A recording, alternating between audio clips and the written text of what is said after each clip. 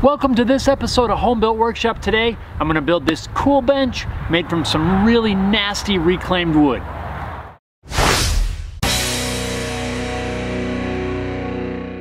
To build this project, I started off with the crustiest, most beat up pieces of wood that I can find that are still solid. Now I think this one here may have been a fence post at one time. I'm not quite sure. It's really cracked and split. And this large chunk here, I don't even know where that came from. It's just something that I picked up. I don't know. It could have been on the side of the road for all I know. But they're both really crusty and I'm gonna see if we can do something cool with them. Now I've had these pieces of wood sitting around for quite a while because even though they're really rough and part of them are rotted away, I really thought it might make a cool project and might be kind of fun just to see what kind of results we can get. I'll begin by cutting the worst piece off of this chunk that I think was a fence post. The wood smells a lot like pine when I cut it. I don't really see any indications that it could be treated, but just in case, I think I'll wear a respirator when running it through the planer. I'm not concerned with my blades because my blades are already shot. There's nicks on both sides. The blades have already been flipped around and they definitely need to be replaced before I use them for something nice. So since I'm not worried about trashing them, I'm gonna just finish them off on this project. If you didn't want to risk ruining your planer blades, you could for sure start cleaning it up using a hand plane, even some sandpaper, just to get some of the bulk of the material off.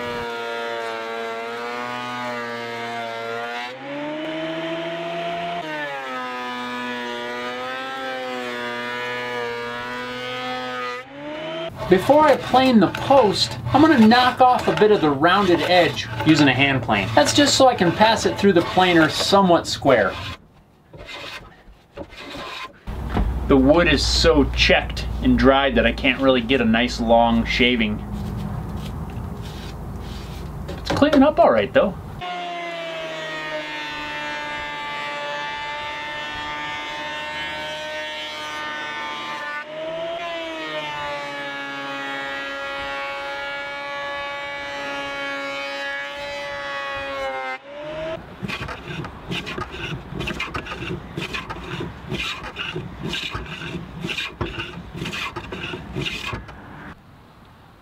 Then all of a sudden, a spring snowstorm came in and I had to rush through this process and get this board flattened. I wasn't able to get any good footage at this point because I didn't want the camera out in the snow.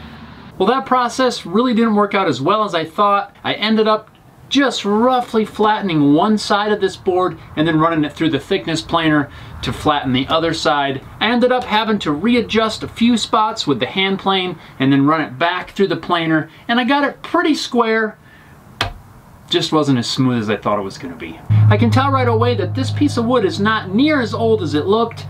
Now that it's cleaned up, it really looks like kind of a construction grade 6x6 or something like that. And it may very well have been. Again, I don't know the origin of it, but definitely is not old. The grain is really large and it smells like construction grade lumber to me. I'm not really concerned with that. I'm gonna use this for the project anyway. Now I can cut this piece down for the four legs. I'm using the miter gauge on the table saw for this step because the board is too thick to use on my crosscut sled. Before I move any further, I want to address these cracks and splits in both the legs and the seat of this bench, so I'm going to fill those with epoxy. I've got some two-part epoxy resin. I'm going to mix some of that up. This one in particular is a two to one mix, so I've got this glass jar. I'm going to put some masking tape on here. That way I can use my tape measure and make some marks on the side of the jar to know exactly where I need to fill the epoxy tube.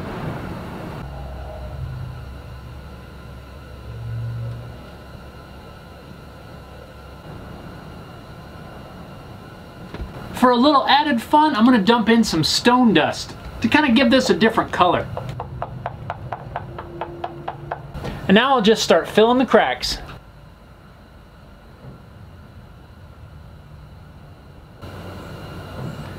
I see why everybody likes the uh, the river tables.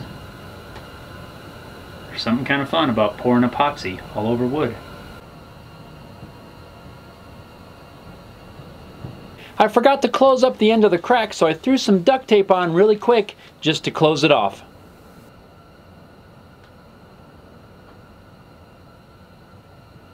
After that epoxy's dry, I'll take the piece, flip it over, and I'll pour the epoxy on the other side. I'm using some duct tape and some hot glue to make a little dam on each end of the piece. This is so the epoxy doesn't run out the cracks. I'm not too worried if this makes a mess because I'm going to trim off the ends anyway.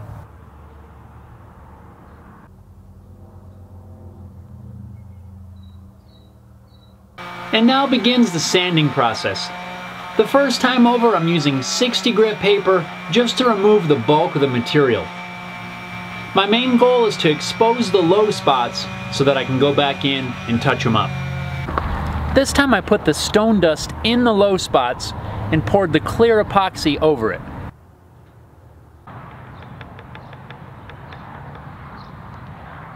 Now with most of the low spots filled and things are looking pretty good, I'm going to continue sanding with 60 grit, progressing up through the grits, ending at 220. Now I'll use my circular saw to trim off the ends. The blade doesn't go all the way through the piece, so I'll finish the cut with a handsaw.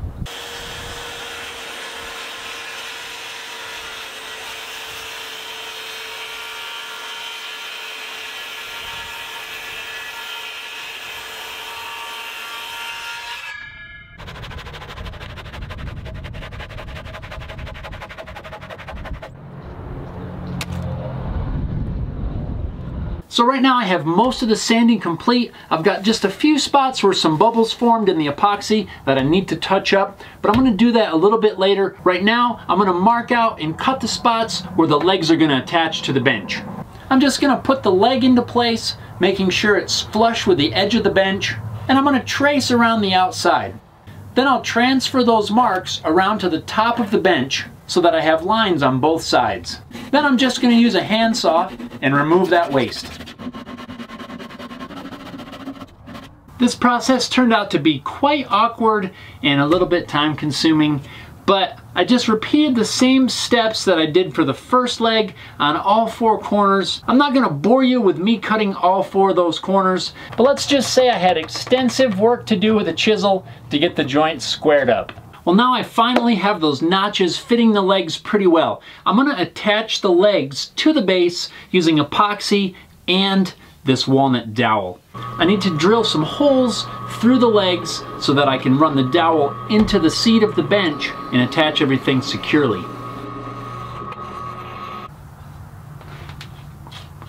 Yeah, it's gonna make a mess. That's alright.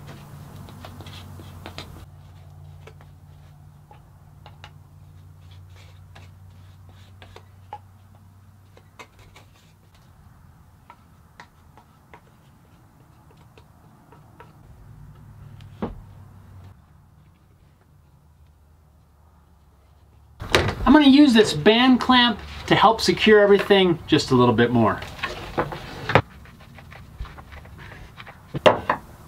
Hey, that's like really square.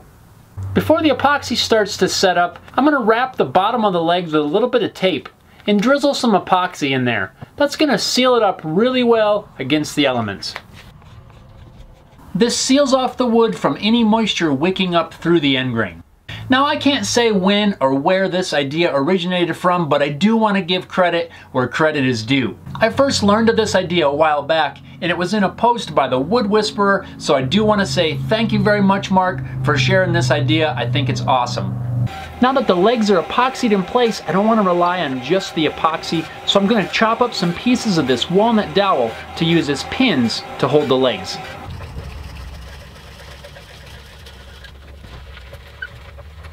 There's really something cool about using an old tool, especially one that was used by your dad or your grandpa or something like that, some kind of family member that you know used it for something to build lots of cool things. This is one of those.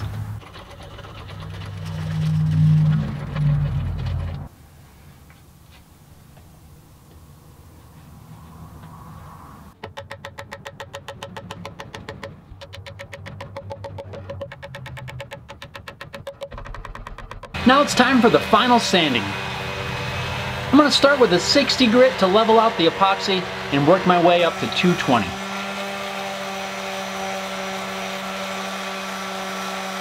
Once I'm done with the random orbit sander, it's just a little bit of hand sanding to break the corners so they're not quite so sharp, and then it's on to the finish.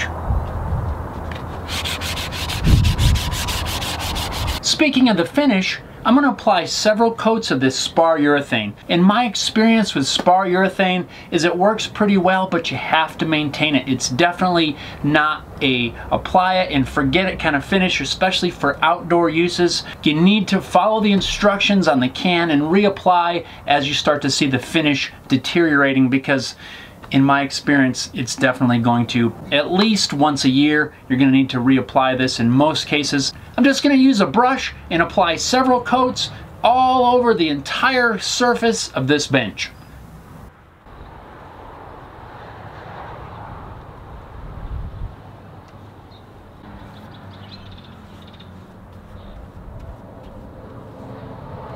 As soon as the finish has had some time to dry, I can park the bench outside and relax in the shade. I'm pretty pleased with the way this thing turned out. I like the look of the colored epoxy in these deep cracks. I can see a few spots where I, maybe I didn't mix the epoxy all that great, so it's not completely blended and that's really just a mistake on my part. Since this is the first time that I've used epoxy for this kind of application, I'm not too concerned. I'm gonna just chalk that up to a learning experience. Overall, I really like the way it looks.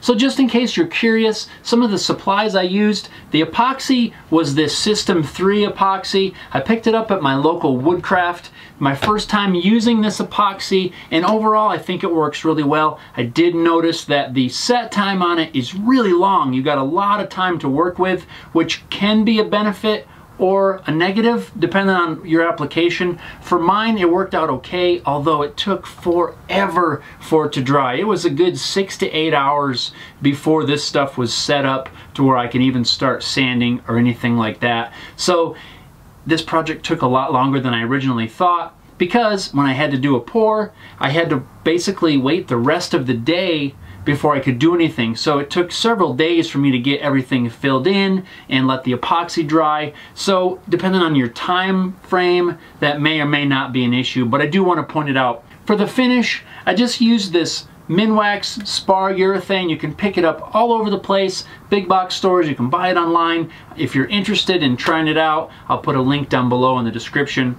Now this in my experience in weather conditions and all that temperature humidity all play a factor in how quickly it dries but I found that this starts to set up and kind of get gummy really fast. Typically I'll put on an application and then I'll try to go back and do long brush strokes to smooth everything out. But by the time I got back to those long brush strokes it was already starting to get a little bit gummy and I ended up making it worse than it already was before I tried to smooth it out. So, something else to keep in mind, my experience with this is you have to kind of work quickly. Now I suppose you could probably thin this out with maybe some mineral spirits or something like that. I have not tried it, but it does say that you can clean it up with mineral spirits, so I kind of think that if you wanted to thin it, you could do that, which may give you a little bit better results. But overall, worked out just fine.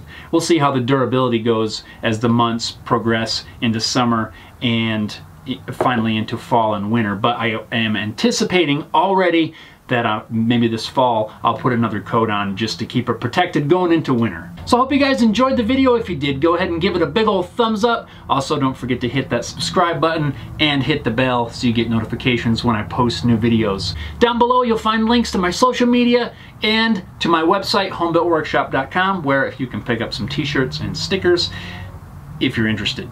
If you're not interested, you can still check it out anyway. So thanks a lot for watching, everybody, and we'll see you next time.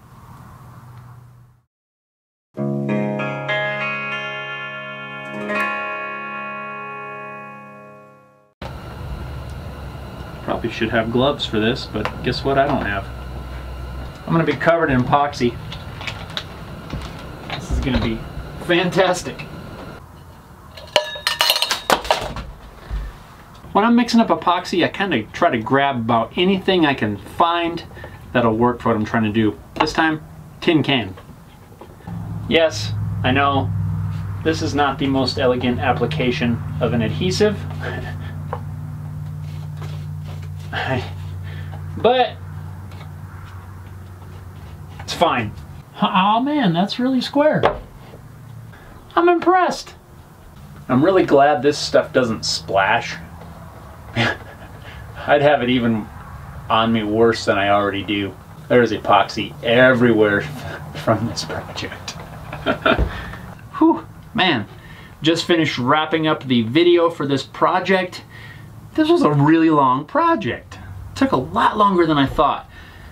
Between waiting for epoxy to dry and waiting for finish to dry, took a while. It probably, it, ah. if it's not epoxy, how did I get that on me? There's a little bit on the lip of the can, and I just leaned in it. Ah, oh well.